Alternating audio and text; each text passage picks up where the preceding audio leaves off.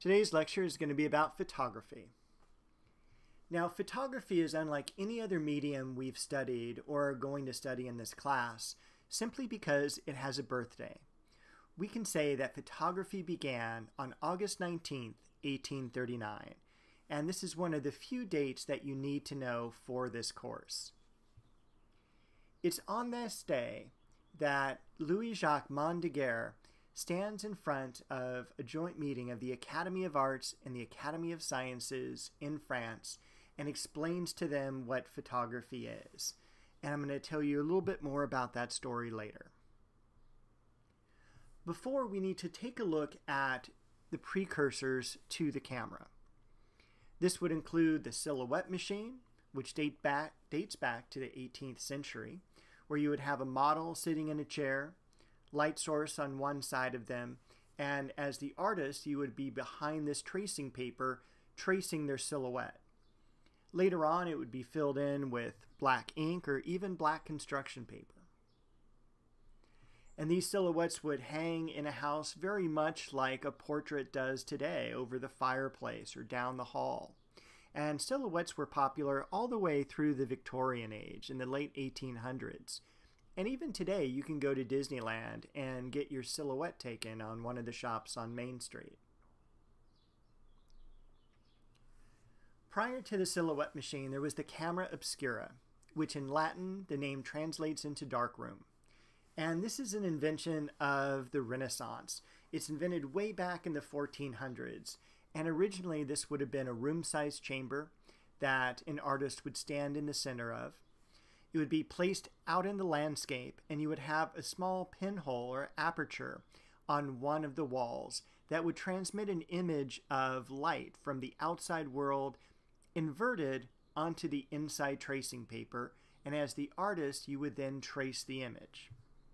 Now, over time, the camera obscura becomes smaller, more portable, fitted with true lenses and mirrors so that the image would be easier for the artist to draw but the problem remained that the image still had to be traced. Now, when we get to the exam, you're going to have one or both of these questions. Questions like who invents photography? And it's going to be a completely different answer than who gets credit for inventing photography. When we look at the first question, who invents photography? The answer is lots of people people like Nicephore Niepce, who gives us heliography, or William Henry Fox Talbot, who gives us photogenic drawing. Hippolyte Bayard, Sir John Herschel, all of these individuals help us to create photography the way we know it today. And even Louis-Jacques Mandé Daguerre also helps in this process. However, when we get down to the question of who gets credit for inventing photography, the answer is Daguerre. And I'll tell you his story momentarily. When we look at early photography, the first type of photography is called heliography. And this is invented by Nicephore Niepce. This guy was fairly wealthy and what he did is he had a camera obscura and was doing experiments on how to fix the image, how to make it permanent. And so what he did is he took a plate made out of pewter, covered it with bitumen of Judea, which is an asphalt compound, and slid it into the camera obscura. The exposure time on this image was eight hours. And when he took the pewter plate out of the camera obscura, rinsed it with salt water, held it upside down over heated iodine, we have a latent image. And in 1826, 13 years before the invention of photography, we actually have our first photograph. And this is what that scene looks like. It is a chicken coop on this gentleman's estate. Now, when we fast forward to 1830, that's when Nicephore Niepce and Daguerre meet. Daguerre is a painter of dioramas, of theater sets, and the two of them meet, they become friends, and they start to collaborate on Niepce's process of heliography. And Daguerre does make some suggestions. He suggests instead of using that pewter plate, let's use a plate of highly polished silver for the reflectivity. Instead of using heated iodine and having iodine vapors bring out that latent image, let's use mercury vapor. Now, both of these suggestions work really well, but what no one could have foreseen was that Niepce was going to die suddenly in 1833, and this left Daguerre with all of Niepce's research for this new photographic process. And so this is why Daguerre gets to take that research and gets to present it to the Academy of Arts and the Academy of Sciences on August 19th, 1839, and the French government absolutely loves this. They're going to give Daguerre a pension for the rest of his life. He gets to name the new photographic process after himself, the daguerreotype, and he becomes this semi-celebrity throughout France. And here's an example of a daguerreotype taken by Daguerre. Taking a daguerreotype image is a very intensive process. Today we're so used to just snapping a picture in the digital age or using something like a Polaroid where it's just one step. All you have to do is press a button. However, back in the day during the daguerreotype age, it was a huge process. All of this equipment here was needed just to prepare the plate. Here's the camera that you would need to take the exposure, the developing equipment. You also need to do some hand coloring because especially the eyes. Now, what's happened between heliography and daguerreotypes in terms of exposure is we've gone from eight hours to capture an image down to about a minute. However, during that minute, you're still going to be blinking. And so what would happen on these images is the eyes would not come out. It would almost look like they were hollow or like kind of like a zombie type of image. So they would be painted in later. And then we'd want to protect, preserve, and present these images. Now, this is where I'd like you to stop this video and down in the links below, you're going to have a link for how daguerreotypes are made, and I'd like you to watch that video and then come back to our presentation. So what photography does is it dramatically changes art. Art has been basically on one path its entire time since the Renaissance. So for about 400 years, art has followed along this very graduated pathway and all of a sudden photography makes it change gears. It eliminates the second role of the artist that we talked about, which is to record the world. No longer do we need a painter to document the world around us. We can do so through photography. It's going to be cheaper, it's going to be easier, and it's going to be more accurate. The modernist writer Charles Baudelaire said, quote, I believe that art is and can be the exact reproduction of nature. In avenging God has heard the prayers of the multitude. Daguerre was his Messiah. And it's true, photography, once it was invented, became this mania that spread throughout Europe and also America. Everyone wanted their photo taken.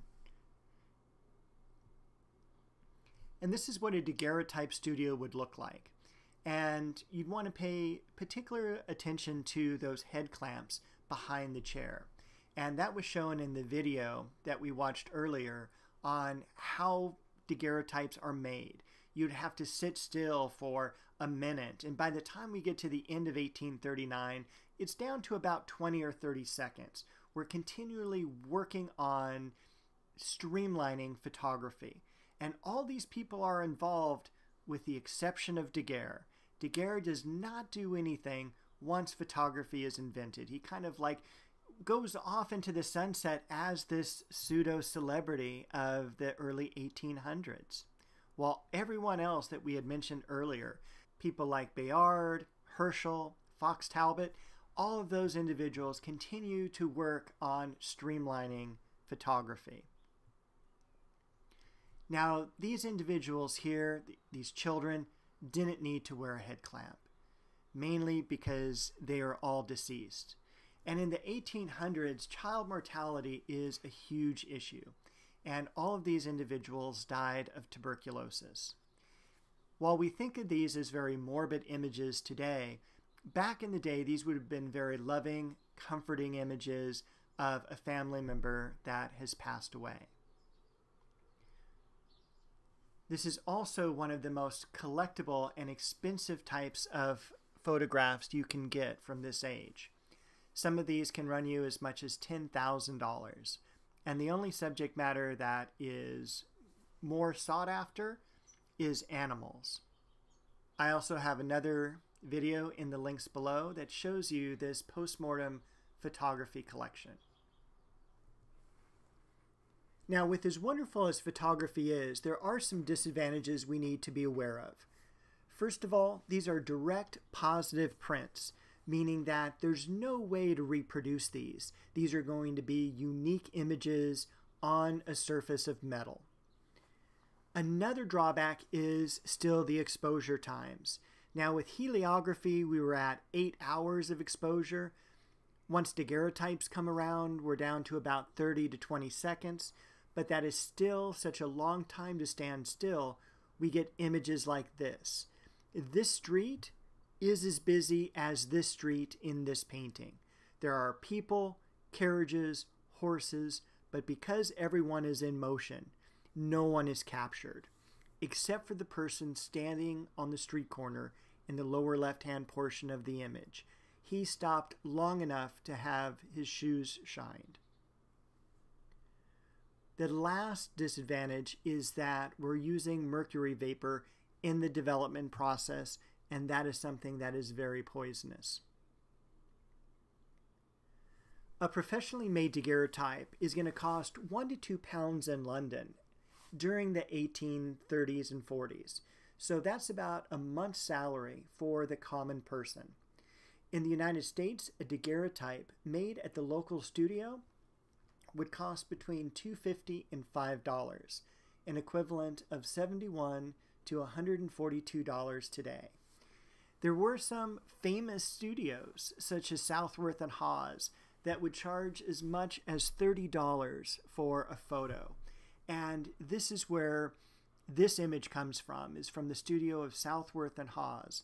And what they would do is they would find these celebrities to sit for them in the case of Harriet Beecher Stowe, she was a famous writer of the 1800s, wrote Uncle Tom's Cabin, and she would be commissioned basically to sit for this studio. They would take her picture on what's called a full plate daguerreotype, which is about the size of a sheet of paper.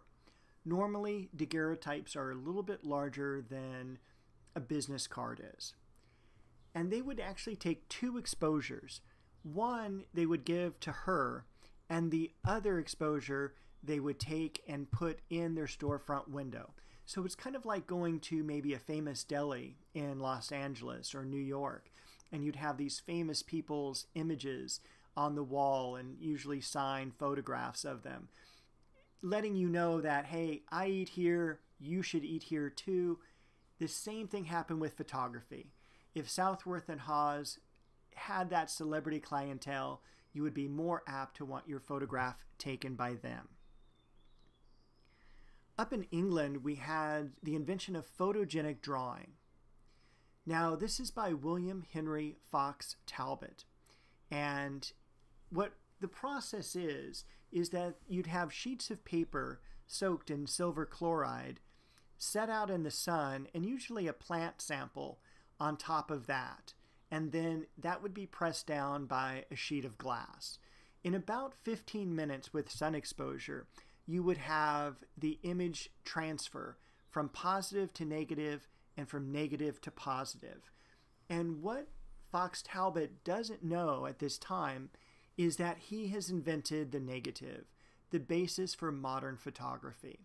And also with this image, it's done on paper.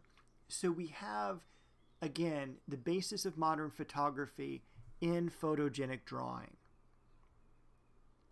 And a lot of these early photograms, as they were called, are of plant samples. Now, when photography is invented, it's kind of like how the internet was invented.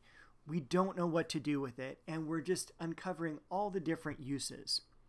So I've broken this lecture down into topics such as entertainment, science, documentation, politics, social reform, feminism, and then art for its pure aesthetic value. So we'll look at photography as entertainment first. And back in the 1850s, one of the coolest things to have would be like a stereoscope and stereo cards. This is very much like our modern day Viewmaster, if you had one of those as a kid, where you'd look through this viewfinder and you'd see two images, and when we look through there, they're superimposed as one, and it gives a more three dimensional feel to the scene. This is also, these photos are taken at a slight angle. They're about a 3% difference, even though they look exactly the same. And this is a stereoscope camera. And these were really cool. They were traded. They're still inexpensive today because so many of them were produced. You can probably pick these up at an antique store for about $2 each. Unless they're on a rare subject matter or they're hand painted, then they'll probably be between 12 and 25 each. But for the most part, they're 2 bucks. They're really cool to have as something from the 1800s. And these scenes are something that you would not see on a normal basis. For instance, the 1851 World's Fair in London, or Confederate soldiers in America, the new mode of transportation, the railway car. We also have carte de visites, where you would go to a photographer's studio and you could rent clothes to dress in. You could also choose the scene that you would be pictured in.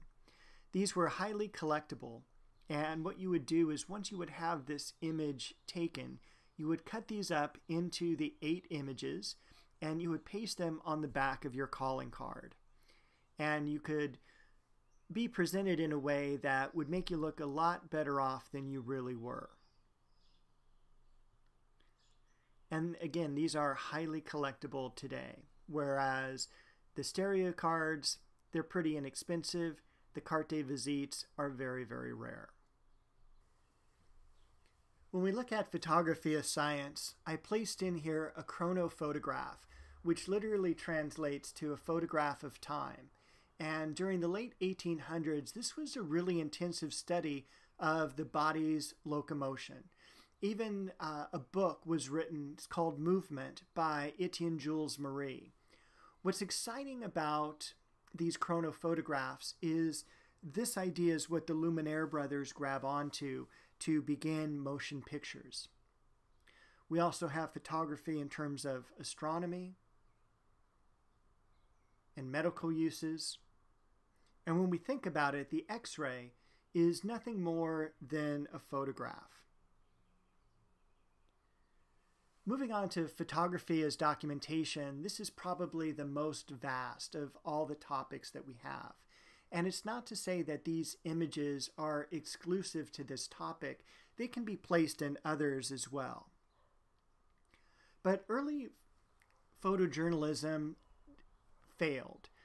With the burning of the Oswego Mills, we don't get to see the people rushing around trying to put the fire out and we don't get to see really a great image of the flames devouring these buildings. The exposure time was still too long for this. But for the first time, cameras become standard equipment that people going on expeditions would carry with them. All of a sudden, we would see far off places that we had only read about. For instance, the ruins of ancient Egypt or Greece and Rome. The very first war to be photographed was the Crimean War. But again, we're looking at only images of before the battle would begin or its aftermath. And what a different take photography would be on death. When we look at Civil War photos at the left here, we have all these people, uh, a very raw indication of death, compared to more of a romantic type sense with the painting at the right, which shows the 1830 Paris Revolution. But we get to see buildings being built, the meeting of the Transcontinental Railroad, the building of the Golden Gate Bridge, our last image of the Titanic, Pearl Harbor on December 7th, 1941. And one of the most famous images we have in America is of Migrant Mother by the photographer Dorothea Lange. Dorothea Lange is charged with humanizing the Great Depression. And this photo taken in 1936 shows this poor agricultural family uh, on the brink of starvation. And what we don't see, though, is the earlier photos. Dorothea Lange says that she was driving in this remote area and she pulls over to the side of the road because she sees this tent. And there's a car off to the right that is up on blocks, the tires are gone. She says in this interview, which took place in 1960, that she remembers this photo as she says, I approached the hungry and desperate mother, as if attracted like a magnet. And I took five photos before we even talked, moving closer and closer with each exposure. And it was only after I had taken the last one, that famous image, where the two talked. And the woman told her her age, which was 33. And so, also, that car up on blocks, the tires had been sold to provide food for her family because they had been surviving on vegetables from the surrounding fields that had been frozen, and also uh, any birds that the children could have killed. When we look at photography as politics, I chose this image of Abraham Lincoln. And at this stage, he is a senator from Illinois and he is running for president. However, there are rumors about that he is ugly and malformed, and those rumors do happen to be true. What he ends up doing is he heads over to Mathew Brady's photography studio, and the photographer does some tricks with the lower camera angle, makes the future president turn his attenuated fingers underneath to hide them, shines a bright light as well in his face and this image is what gets published in the newspapers. And of course, we know that he becomes our 16th president. And I forget the disease that Lincoln had, but you can definitely see here that he is taller than everyone else by at least a foot. And he is still our tallest president we've ever had. At lectures and talks, Lincoln would even credit Mathew Brady with making him president. Mathew Brady, of course, is going to go on to fame as a Civil War photographer. You'll see a lot of his images in the Ken Burns special. But he photographed not only the North, but also the South. Images of famous people like Custer, celebrities such as Mark Twain. And I believe Mathew Brady ends up photographing eight sitting presidents. This image is from a private family collection. My friend's grandfather is the individual at the left there. And this is taken behind the scenes at the graduation for Columbia University, where my friend's grandfather had attended. And so he was a presidential advisor to both Kennedy and Johnson. And he got Kennedy to speak at the graduation ceremony. Unfortunately, we also have the horrible incidents in Dallas in 1963. And we're going to move on to photography as social reform. One of the most famous books of photographs is called How the Other Half Lives by Jacob Riis, who was a police reporter working in the Lower East Side of Manhattan, which would be known as the slums. This book was first published in 1892. It is still in print today. You can get it from Amazon or Barnes and Noble or any of the local bookshops. Um, what what what Jacob Riis would do is he would go out in the middle of the night and take pictures of the living conditions of the poor. A lot of these photos might look like they're overexposed near the top. Um, however, that is just the flash powder that was used. These individuals here living in a morgue. And of course, the tenement housing.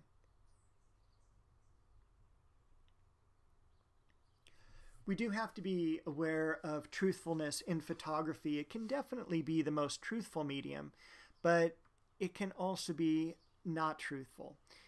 Jacob Riis told these kids to pretend that they were asleep to take this image. Besides Jacob Riis, we also need to be aware of Lewis Hine. And today he's famous for these worker images of workers on the Empire State Building and other skyscrapers in New York, very iconic images of Americana. But earlier than this, he was charged with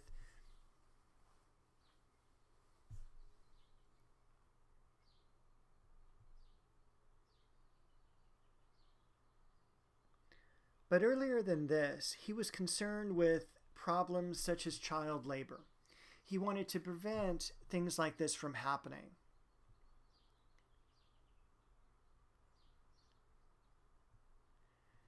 He was the chief investigator and photography. He was the chief investigator and photographer for the National Committee on Child Labor. In 1907, government inquiry revealed that at least one and three quarter million children between the ages of 10 and 15 were working in U.S. factories. In cotton mills, almost 50% of the workers were an average of 10 years old. And this is barely 100 years ago. Children as young as four years old labored in a variety of trades for up to 12 hours a day. And so, while today we look at Hine's images as very iconic for the early part of the 20th century, it does not show children actively being abused, but these are young children working in dangerous conditions for very little pay and working for very long hours. The result of Lewis Hine's imagery here and his connection to the National Committee on Child Labor is child labor laws. So you do have to associate that with these images.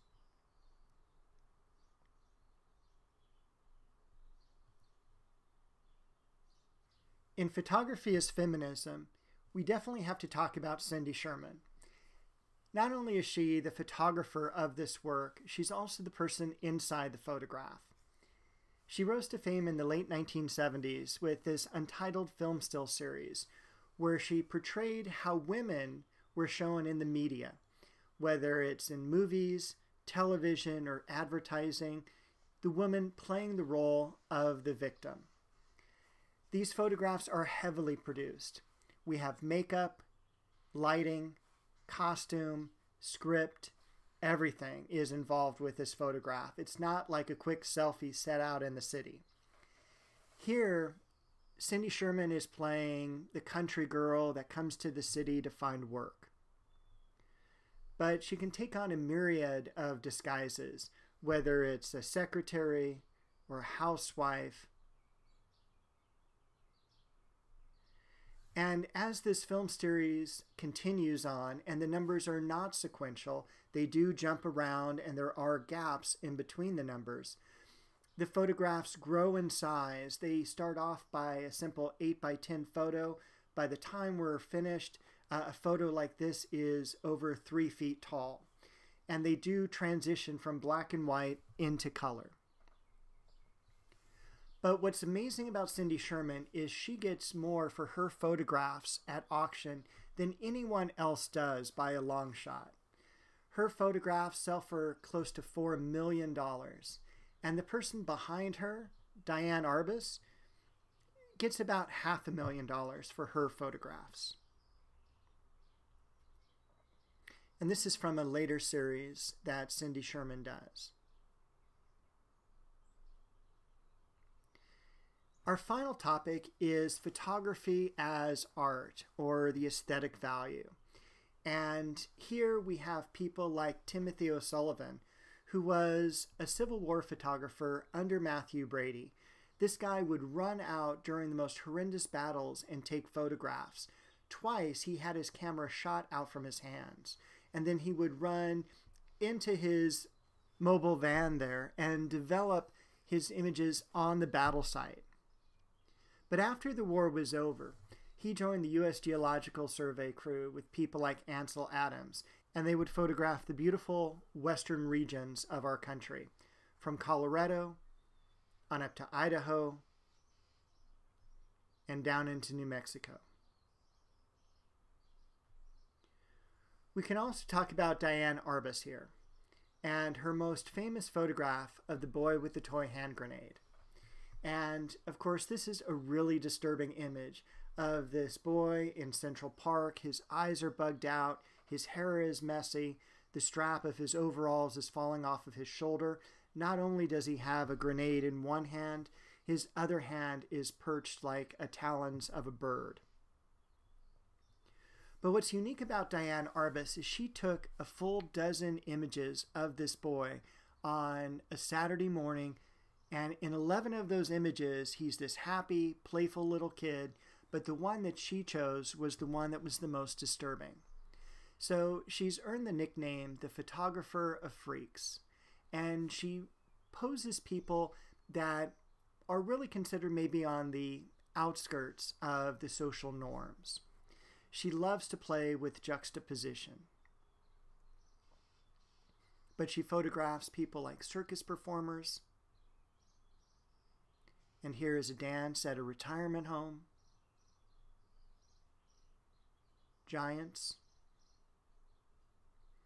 And of course, one of her most famous images, the identical twins, which were the basis for the twins that we see in the movie The Shining. And they're really happy little girls.